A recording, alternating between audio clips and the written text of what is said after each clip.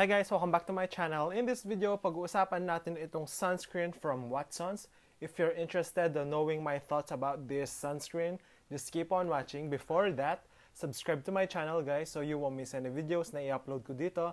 And might as well follow me sa aking mga social medias if, if interested kayo to see my other content there. Let's begin on my thoughts slash review about this sunscreen from Watsons. Okay guys, this is the sunscreen from Watsons. So, heto yung i-review natin ngayon. This is the SPF 50 plus PA+++ sunscreen from Watsons. And yung pinili ko is the aloe vera variant nito kasi meron silang normal variant. I think it's color orange. So this one is the color green and may aloe vera siya.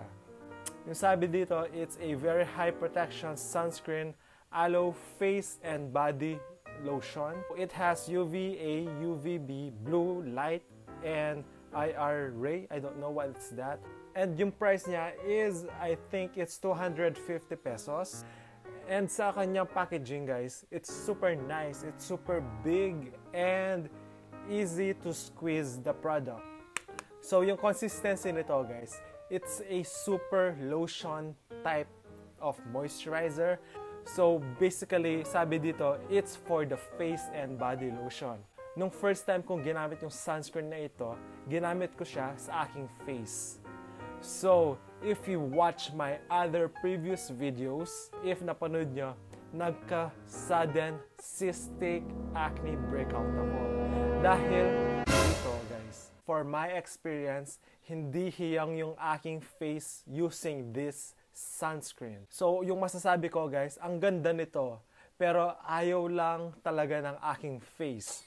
So, yung una kong gusto dito, it's yung texture niya guys. So, when you put this on your face, ang ganda ng texture, it will just slide on your face like a typical lotion will do. So, ang ganda niya. And I really like the finish. Hindi siya sticky or oily. It's super nice sa aking face. Pero, for the first day ko lang ginamit ito, at the end of the day, nagkaroon ako ng mga little whiteheads around this part of my face. So, nasabi ko na yung na-experience ko through my previous video. Kung hindi nyo lang nakita, I will just tell it again.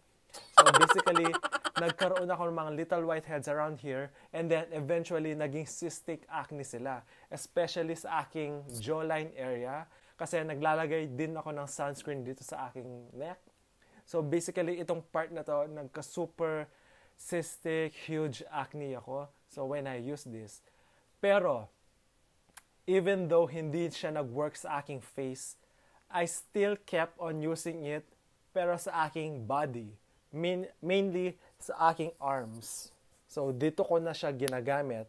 Parang similar sila ng fate ng Beach Hut sunscreen. So if you haven't watched that sunscreen review na ginawa ko, I will link it down below. So for the body lotion, guys, it's super nice. It will just glide on your skin like what your typical lotion will do. And you will feel super moisturized.